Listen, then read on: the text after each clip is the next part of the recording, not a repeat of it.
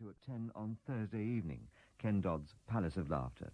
Among those appearing with Ken at the Lyceum Theatre Crewe are Peter Goodright. 24 hours a day. Entertainment, entertainment, Radio 2. This is the British Broadcasting Corporation.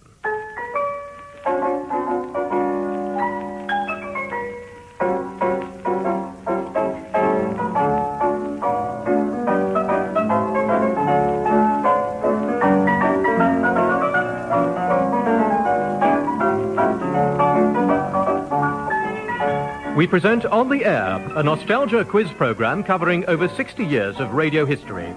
The program is compiled and introduced by David Rider.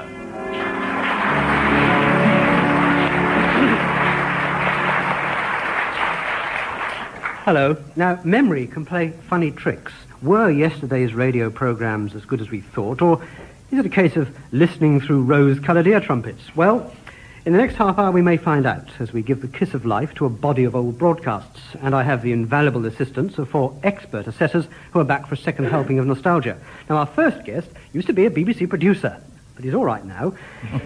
he's the, uh, the king of the quizzes, the panjandrum of the panel games, from 20 questions to dealing with Daniels, Ian Messiter.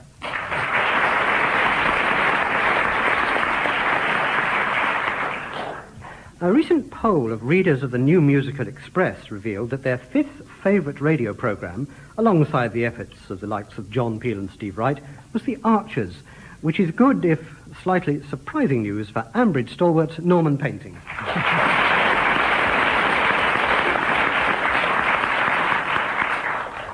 something was stirring down in Streatham in the early 1950s. Two men were perfecting their craft as scriptwriters, culminating in the outstanding success of Hancock's Half Hour. One of them was Ray Galton, and the other half was, and is, Alan Simpson.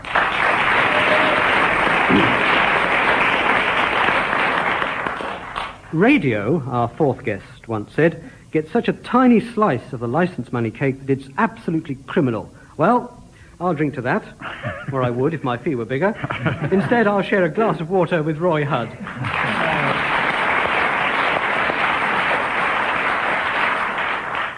Now, this first round is called Radio Ephemera. It says little bits and pieces of radio, some them quite short, but they all mean something quite significant.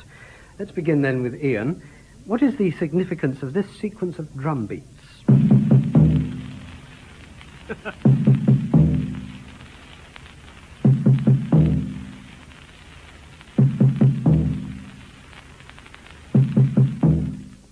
It was the uh, V for Victory sign That's right. uh, from the uh, last war. Two marks. And talking of the last war, I came out of the army and joined the BBC as a producer to meet the shock of my life was that we had a program called Starlight. I don't suppose anybody here remembers it. It used to be on Tuesdays and Thursday afternoons. It ran for exactly 15 minutes. It wasn't much.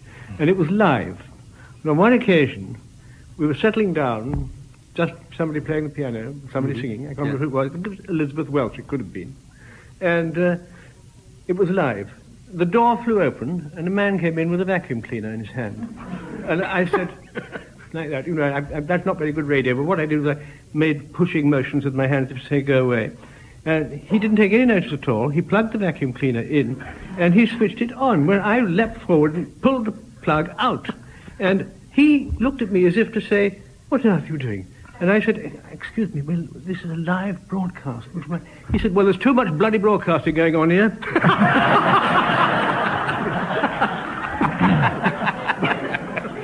Well, well, perhaps we'd better stop in case he's still around. That's a lovely story. Oh, golly. Uh, and actually, um, going back to the V sign for a moment, the first reference I could find to it was, in fact, in July 1941, when a, BBC, a handwritten BBC internal circulating memo, which sounds more like a medicine than, than a letter, said uh, the, the V sign, of course, was the Morse code for V, dot, Yes, dot, it was. dot, dash. It says the, the V sign on Tom Toms is to go out before every news bulletin in the European service beginning at midnight tonight. So it started in July 1941. Now then, Norman, whose arrival was heralded by this theme?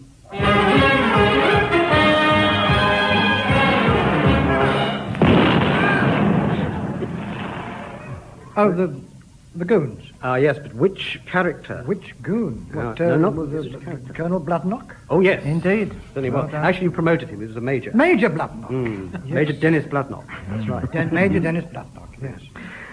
Now, Alan, yours came from a program that ran from the 1930s to the 1960s.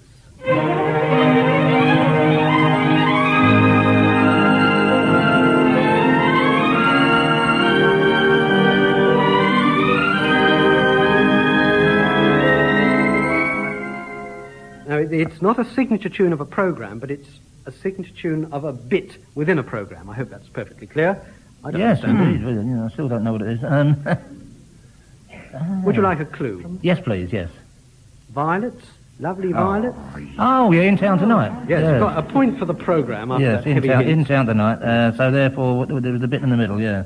Was it the celebrity spot? It was Norman, yes, a bonus, that's right. Celeb- That, that piece of music was actually written by Robert Farnon called A Star is Born. And as, Ah, as Norman said, it well, I knew it heralded something to do the, with the uh, the arrival of the, of the, uh, the guest celebrity at the end Yeah, of each edition of In Town Tonight. Was that a program you listened to, Alan, when you were a young lad? Indeed, yes. I tell you what we used to do. Um, I used to listen to a lot of uh, American uh, uh, comedy shows during the war because they used to be broadcast on the American Forces Network. Uh, used to broadcast, uh, we used to get Jack Benny and uh, Bob Hope, Bing Crosby, all the American shows used to listen to. Did, did that influence your, your writing in any way? The people who influenced Ray and I more than anything, uh, in, I suppose, in the actual act of writing were Frank Muir and Denis Norden. I mean, they were the they were the governors uh, when we started. I mean, they were absolutely, but they gave script writing a respectable name. I mean, they were, they're, they're, I think they were the first people who ever really got the public ever knew who were script writers. Right, Really, weren't they? I used to listen to. Um, I was evacuated during the war, you know, and there used to be lots of good comedy programs. I remember like Mad Dame, Much Binding in the Marsh, particularly, which was Dickie Murdoch and um, Kenneth Horne, and the other one was Navy Mixture. I wonder if anyone remembers Navy Yeah, Mixture. Navy, And I always remember they used to have the most ludicrous thing on that, and it, they used to have a conjurer on. you know. mind you, you talk about a, a, conjurer on radio being odd. Do I mean, what about a ventriloquist? Yeah, that was I good, mean, wasn't yeah. it? Makes life easy for him. Yes, indeed.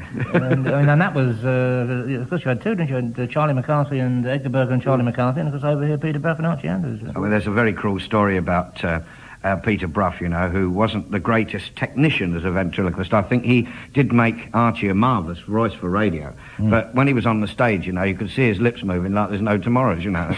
Just a blur his lips were in the action. the nicest man in show business, I found, one of the nicest men in show business was Sandy Powell, you know. And Ted Ray told me they were all having a drink one uh, Sunday night at the Water Rats pub, you know, and uh, Peter Brough was there, and so was Sandy. And Sandy said to Peter Brough, he said, uh, where are you working next week then, uh, Peter? He said, I'm at the Lyceum Sheffield next week. He said, you'll do very well there. The lighting's terrible.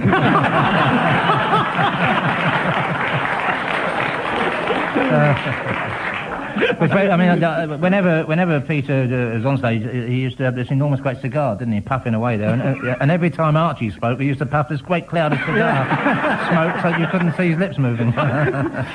Sandy loved ventriloquists because uh, sure you remember Sandy's great vent routine. Oh, he used to have a great big moustache, didn't he? that covered his, all his face down there, so you couldn't see his lips moving. Mum. he used to love the bit right in the middle of the act, and he used to be doing this thing, and the edge used to fall off. And roll across the stage. He used to say, "Oh dear, now I've given the game away."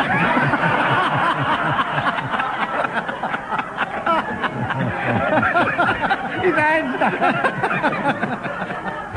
Well, now, according to my calculations, we still have a bit of radio ephemera wandering around here somewhere. and it belongs to Roy. Roy, this is something that's still heard many times each day on the World Service.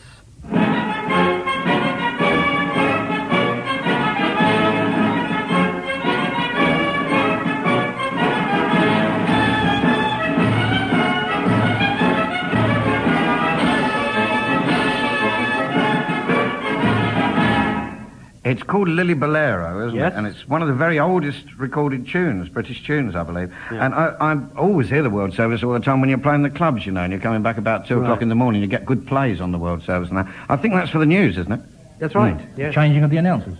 Something like announcers It's what's officially uh, referred to as the news prelude in Ah. World Service parlance. That's right. Now, among my collection of radio memorabilia, are several copies of Radio Pictorial, the radio equivalent of Picturegoer, published in the 30s. Now, for the benefit of the audience here and you at home looking down your loudspeakers, I'm holding up a copy of Radio Pictorial. Everyone's going, ah, yes. Now, what we're going to do here is uh, ask David Benham to read some short pieces from this publication and see if you can guess who the pieces are being written about. So, Ian, this piece actually refers to someone connected with this programme. When he first broadcast in 1924, he was asked to announce, but would not do so because his stammer was so bad. Then he determined that he would not be beaten, and a year or two later he forced himself by sheer willpower to try announcing. The stammer that he had always regarded as a terrible disadvantage turned out to be his greatest asset, and it was this and his delightful southern burr that endeared him to the public. Oh, that was. Obviously, he became. King.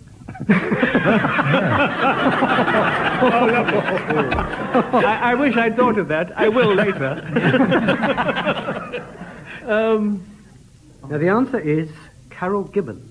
Oh, on the, uh, on the air. That's right, you see. Now, isn't that Oh, interesting? Because air, Alan, when you played the signature tune, Alan and I, we, we deserve a point if one of us is right for this, you know, because we were having a debate as to who was playing on that opening thing. Alan said Carroll Gibbons, I said Frank Bruno, so who was right? Alan gets a point. Give, give him Okay, a I'll. Yes. The young man who started Yes, playing the piano. say, good, good, good, good, good, good night, everybody. He actually made capital of his stammer because people found it rather attractive. Anyway, here's another example of his relaxed style. I'm gonna get lit up when the lights go up in London. I'm gonna get lit up as I've never been before. You will find me on the tiles. You will find me wreathed in smiles. I'm gonna get so lit up I'll be visible for miles. Now then, Norman, can you uh, identify this piece which refers eventually to a fictional detective? He is, of course, the man who created that gruff, friendly, and infallibly shrewd gentleman who is heard week after week in Monday Night at 7. Warmy, as his hundreds of friends call him, has had a very distinguished career as an actor. He acted with the famous Lewis Waller and was a personal friend of that celebrated matinee idol. Wasn't it called Inspector Hornleigh Investigates? It certainly was. Two marks. And the actor was S.J. Warmington? It was indeed, yes. Is that extraordinary? I live in a village called Warmington.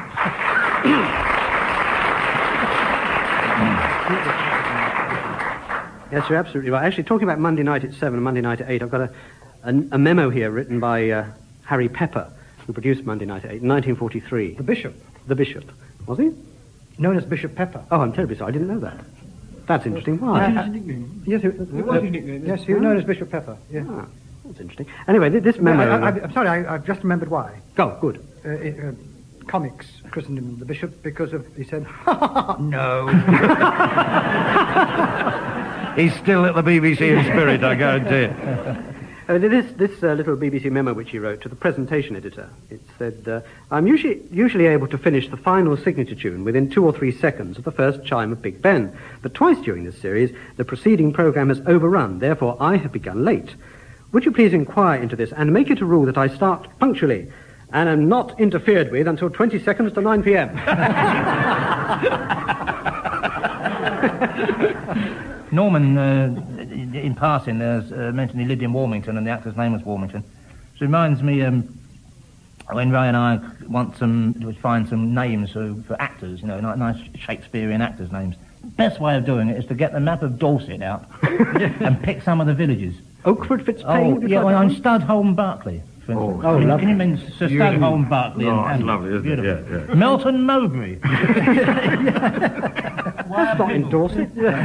Uh, no, but, yeah. But honestly, uh, oddly enough, um, Oscar Wilde did that, and so did Terence Rattigan, didn't they? Oh, I They knew I got it- the idea they- from somewhere. I mean, you're... well, I mean, you're, you're in tremendously good company. How dare they pinch my material? You know, I La- like- La- Lady Bracknell, to name but a few. Well, let's remind ourselves of uh, Inspector Hornleigh Investigates, and here's a, a typical scene from the series. Listen, man, I'd like you to do something for me. Find out if and how Taylor benefits by the death of his wife. What the deuce do you mean? All insurance, a legacy, or something like that. I don't believe his story. Do you believe that he tampered with the electric current? He certainly did that, but I believe that he did it for the purpose of killing his wife. Can you prove it? If I have a motive for the murder, yes. Stirring stuff, isn't it? yeah, that's right. Now, Alan, uh, for you, this takes us back to the musical side of radio, though with a different emphasis. When he'd completed his education at Oxford, his father's wealth gave him the opportunity of beginning immediately on his chosen career. He was only 27 when he formed his own orchestra and gave many concerts of old music. In fact, when he appeared at the Queen's Hall, he filled every seat in the house. It's quite an achievement, all by himself. Max Jaffa. No, not Max Jaffa. Oh, not Max Jaffa. That'd be Henry Wood, I would think. No, it's not Henry Wood. He wasn't at Oxford, was he? Oh, I mean, here we have a university buff. when he was 27. Hmm. No, the thing about Henry Wood was that he was he was a brilliant lad from about 14. Now, and listen lived, to Henry Wood. lived not far away from here and was a very much a, a Cockney. And, and I don't think, in fact, had a great deal of formal education. That's why he was a genius. But it Well, wasn't him anyway. No, and this man went to Oxford and his father was wealthy, and at 27 he formed he- he His own orchestra, his own Tommy Beecham. It could, yes, Berners Point, Norman. That's right. Yes, Thomas Beecham. And uh, here is Sir Thomas uh, with a brisk excerpt from one of his lollipops.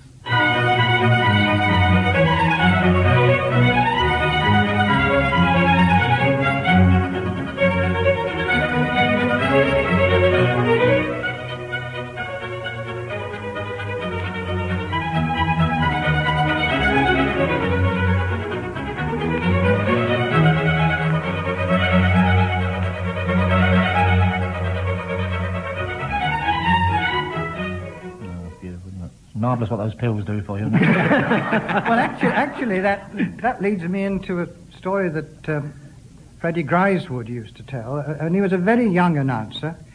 He put on a record, uh, and as he went to put the the actual metal needle down on the 78 disc, his cuff altered the speed thing, and it was a piece of Tannhäuser, and it played terribly fast. And he said he panicked and he didn't know what to do. He said, What I should have done is merely to have taken the off. And terribly sorry, ladies and gentlemen, I will now try again. Instead of which, he left, he left it running. So they, they got most of the ring cycle in about 25 minutes.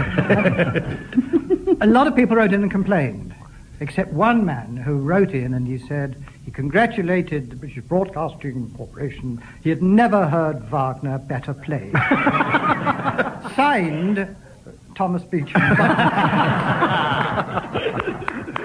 Oh, that's nice.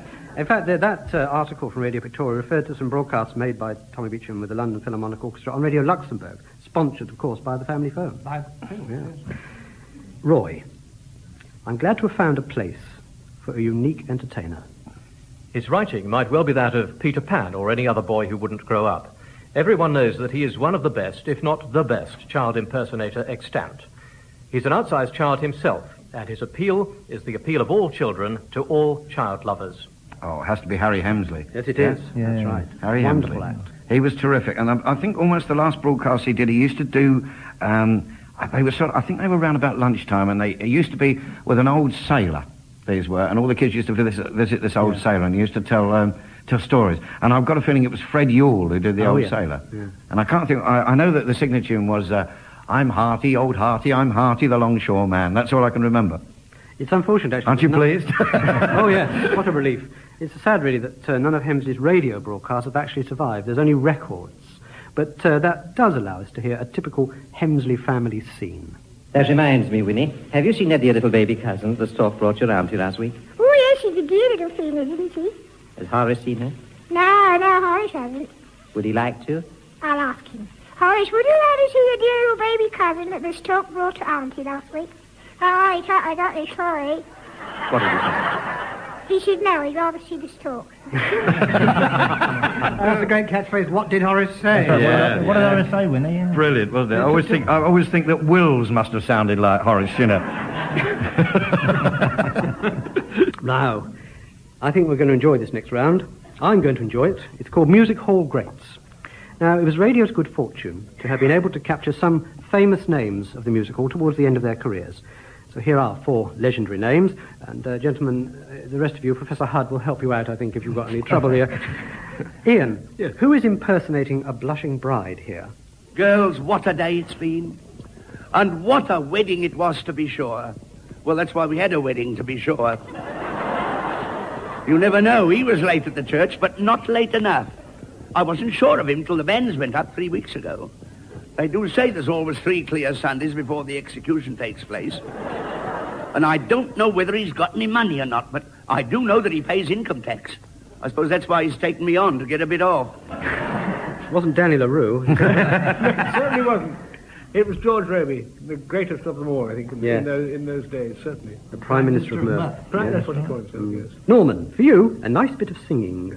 I'm going back again to Nebraska, and if anyone should ask you, I'll be where the waving cornfields grow. In a tumble-down old cottage where a humble bowl of porridge makes the most inviting meal I know. It's, it's an artist who had a billing which you couldn't possibly use today. No, indeed. Um, the chocolate-coloured one. That's right. the, uh, with person of a the chocolate-coloured person, yes. Uh, I thought for a minute, uh, oddly enough, to be perfectly honest, uh, because you can hear a bit of breathing on there, and I thought it was Randolph Sutton, but it, uh, in, in fact, I think was G.H. Elliott. Yes, it was. That recording of G.H. Elliott came from a 1948 broadcast of Thanks for the Memory, which was a radio version of Don Ross's stage production. And also on the bill were Randolph Sutton, Ella Shields, Talbot O'Farrell, Gertie Gitana, and Billy Danvers. And one other, for you, Alan, another artist on the Thanks for Memory bill. I don't like my mother's pie crust. Eat it. No, no, no. I'd sooner die first. I tied it round my neck. Tomorrow I shall be down at the bottom of the deep blue sea. She was right, rightly referred to as the essence of eccentricity. Yeah, I, I mean, I know, I know who it is. It's, uh, it's Nellie Wallace, and uh, I, an artist I didn't see, and I've always wished I, I had. She wore this feathered board, didn't she? That's right. Most eccentric lady I wish I'd seen. I never saw her, you know. And uh, well, she'd left the Thanks for the Memory Company by the time I used to go to the Croydon Empire. But she did have some marvellous songs, you know. Um, there was a one line in one of her songs that used to uh, his, his photograph I keep neath my pillow while I sleep.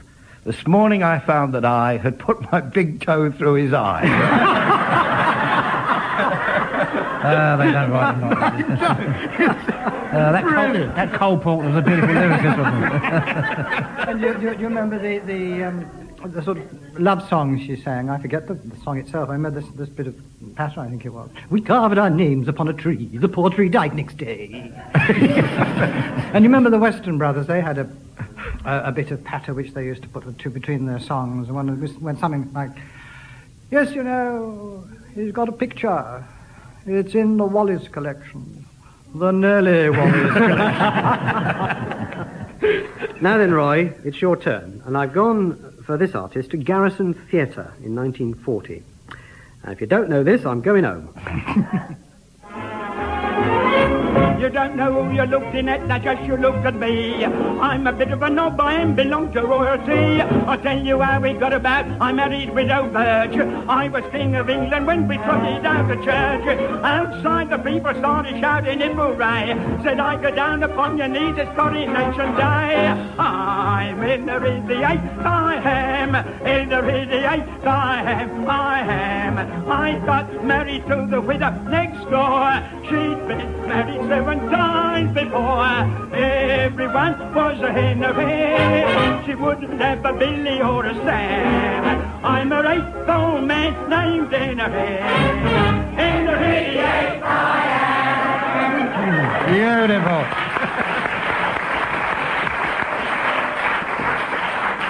He was 75 when that show was recorded. Yes, Bruce Trent. How could you? Don't mean it, Bruce. Obviously, Harry Champion. That's yeah. right. What a great voice, isn't that? And great songs. Alan was saying, oh, my, he had some marvellous songs. A lot of them about food. Lots of them about food. Boiled Boiled beef beef and and carrots, yeah. Um, hot, hot meat pies, saveloys and trotters, he had one. and he had one, I've only, I've, I found a copy of it last year. The song's not that marvellous, but it's a great title. Put a bit of treacle on me pudding, Mary Ann.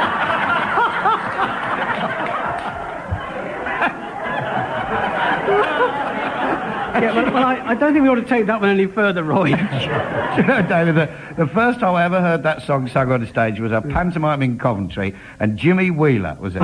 Oh, and it, this, he was doing the song sheet with the kids, believe it or not. And that was the song sheet. He said, now I'm going to do this song for you now. He said, put a bit of treacle on me pudding, Mary Ann. He said, now I want all the little boys to hold out their puddings. and all the little girls to put treacle on them. it was in one night, I think, that song, and it was out.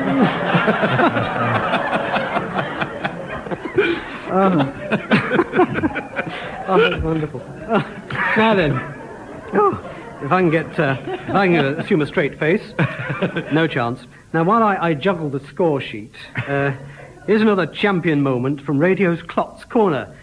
And this, well, it's a wonderful example of an inappropriate choice of word.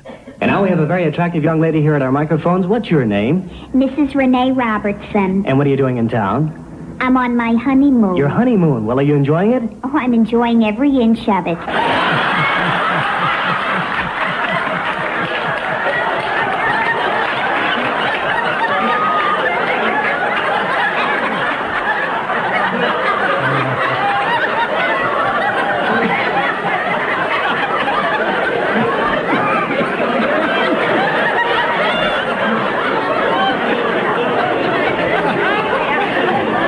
the sort of stuff you like.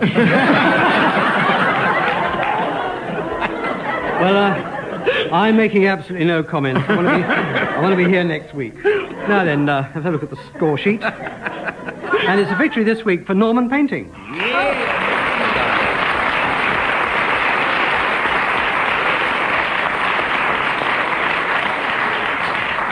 And uh, I'm sure you'll enjoy the prize. It's a wonderful music hall meal, Norman. You've got some of Harry Champion's boiled beef and carrots, topped with a slab of Nellie Wallace's mum's pie crust, a little of G.H. Elliott's porridge to follow, and the whole thing rounded off with a wedge of George Robey's wedding cake. Oh, splendid. And as a, as a kid, you know, I must have been simply dreadful at concerts and things, and with a red nose, I used to sing a song, and Roy'll know whose it was, which was called a Neg and some Nam and a Honeyon. Ernie Mayne. Ernie. Ernie Mayne, yeah. There you are. Now you know. So now I have the complete meal. Yeah. Well, one, uh, of, one of Tommy Beecham's pills, or what? well,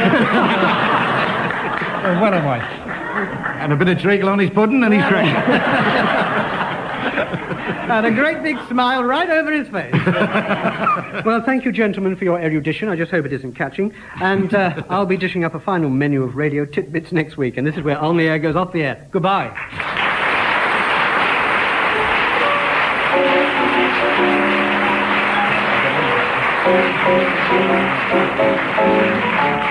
That was On the Air, a radio nostalgia quiz devised and chaired by David Rider.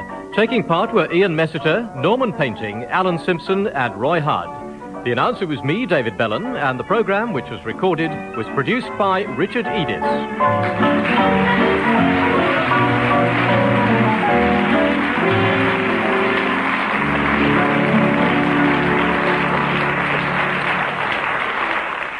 And strolling down memory lane next week will be Barry Cryer, John Dunn, Bob Holness and Gloria Hunniford. Tomorrow, between 10.30 and 11, more nostalgia with Teddy Johnson, uh, Teddy Johnson and the music goes round and round at 78 RPM. Now, we mentioned Gloria Hunniford. Her expert guest on her programme starting at five past two tomorrow will be financial expert Tony Curtis.